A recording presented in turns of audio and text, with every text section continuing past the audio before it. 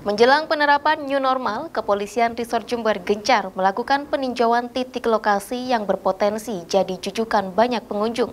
Salah satunya objek wisata Taman Botani Sukorambi. Memantau kesiapan segala fasilitas, berkeliling asik mengendarai golf car sambil ngevlog. Di mana ini Bu lokasinya Ibu? Nah, di kita di Taman Botani, kita mengecekkan untuk kesiapan new normal ketika nanti ada pengunjung yang datang ke sini.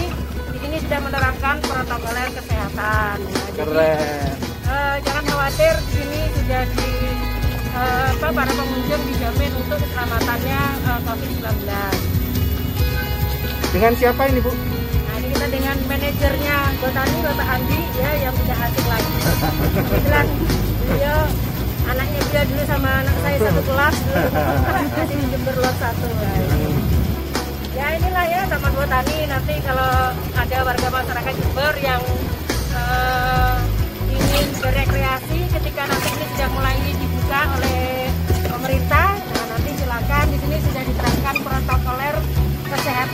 jadi jangan khawatir.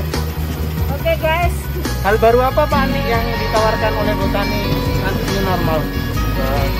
yang pertama adalah standar keamanan dan keselamatan betul-betul kita utamakan untuk pengunjung.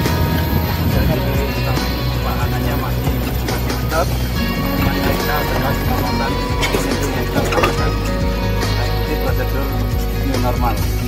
Pak Andi. Keren.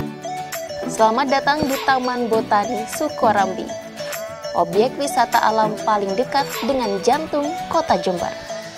Menyongsong fase new normal, kawasan wisata ini akan kembali dibuka dalam waktu dekat ini untuk umum.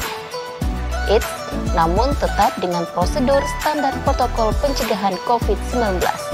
Setelah sempat ditutup selama beberapa bulan, objek wisata alam yang menyajikan nuansa aneka tanaman dan satwa ini berpotensi jadi jujukan pengunjung dalam jumlah banyak. Sehingga untuk memastikan keamanannya, Kepolisian Resort Jember gencar melakukan pemantauan. Memeriksa seluruh fasilitas agar nantinya tetap sesuai protokol pencegahan virus corona.